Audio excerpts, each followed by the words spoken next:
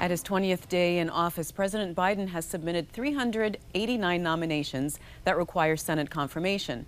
That still leaves a number of important positions, including Director for the Office of Management and Budget, vacant.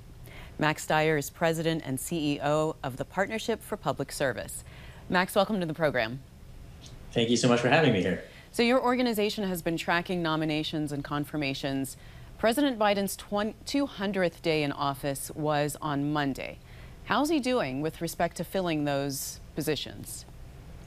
So the answer is that uh, relative to past presidents, he's pretty much on par.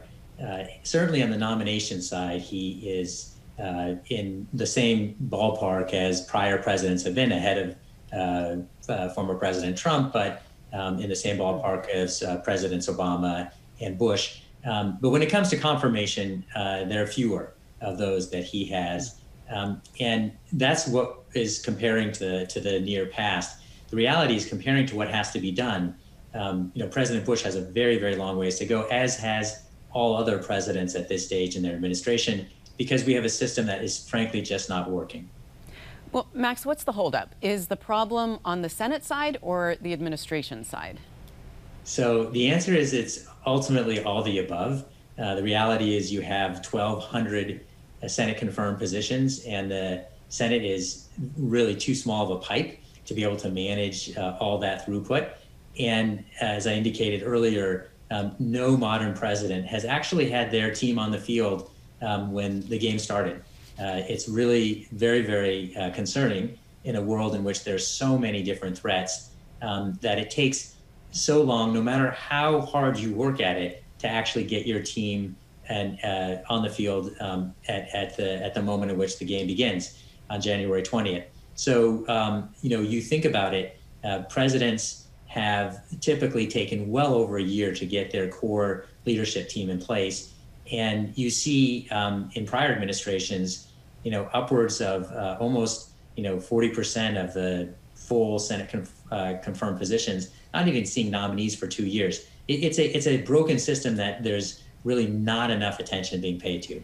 Well, I want to ask you about the system and your recommendations for it, but before, can you give us some examples of key positions that still need nominees? Well, you you led off, I think, with probably the most prominent example of that, and it's the you know director of the Office of Management and Budget.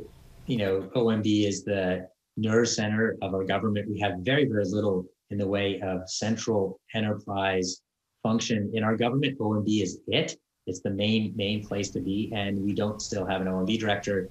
You know, obviously there are other positions like the uh, commissioner of the FDA in today's world, which are obviously vital. But the reality is that all of these jobs are very important, and we are missing uh, many of them. We really have just a, a small number that you actually have confirmed leadership in place, and none of us should find that acceptable and, and tons of uh, ambassadorships as well.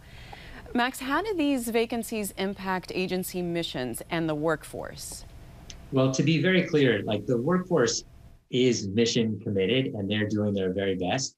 And the people who are in the acting roles, um, they are typically extremely capable individuals. For me, the metaphor is the substitute teacher. We've all had substitute teachers in our lives, and they could be amazing educators. The challenge, though, is that um, they know that they're there day to day. They're not going to take on the long term problems. Um, they're not going to take on the big problems. And just to you know, be very frank about it, they get no respect. Uh, and so that's a little bit of what we have right now. Many, many people who are trying their best, who may be very, very capable, but they're positionally limited in what they can do because they're in an acting role. And what that fundamentally means is that the big challenging problems don't get addressed in the way that they need to. And you see it in all corners of our government. You mentioned ambassadors. Certainly, that's true with respect to foreign policy. You hear lots of other countries talking about not having the right counterparties to deal with. They're going to be less willing to invest in relationships with people that they don't see as long term leaders. Uh, and that's true domestically as well, whether it's the COVID response, the economic revitalization we need, the uh, climate issues, the racial equity issues. I mean, we have a host of problems. We need the very best from our government, and then we need the best leaders who are in place in order to be able to deal with all those problems. So, Max, let's talk about your recommendations then. You talked about the system is broken. How can the political appointment system be better streamlined and reformed? So uh, again, the response is pretty pretty easy in terms of what you, you need to do conceptually, uh, and that is reduce the number of Senate confirmed positions. You have 1,200 of them. That's way too many. Um, we saw actually an important effort in 2011 uh, to reduce the number of Senate confirmed positions, and they actually the Congress did that, reduced by about 160 some odd positions. I would describe that as a slice of bread, not not not the loaf or half a loaf. Um, and we need to do it again, but we need to do it in a, in a much more aggressive manner. And I think that uh, we've issued a report that lays out an approach that makes sense. Certainly, um, you know, we believe that many of those positions could be career positions. An example of that would be, you know, what's going on at the Department of Energy, where uh, the leadership for their cyber position for ensuring safety in our energy infrastructure, the secretary there wants to make sure that is a career position. When you need continuity of attention, when you have management positions, you should have career leadership. Um, it's quite interesting to look at positions like uh, CIOs or um, you know the heads of legislative affairs or public affairs. There's a lot of variety across the government as to whether or not they're Senate confirmed or not. In our view, none of them have to be Senate confirmed.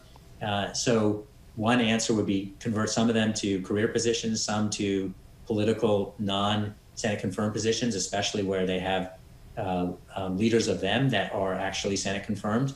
Um, many of these positions are part-time boards.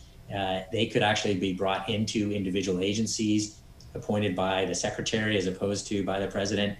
Um, but we lay all this out. I mean, the reality is we should be able to cut more than half of those positions. And I can't resist saying we need fewer Senate confirmed positions. We also need fewer overall political positions. We have 4,000 of those, and that also creates its own set of issues. All right, Maxwell, we'll continue to watch those appointments and confirmations as they move through the system. Thanks so much for being on the program. Thank you so much for having me.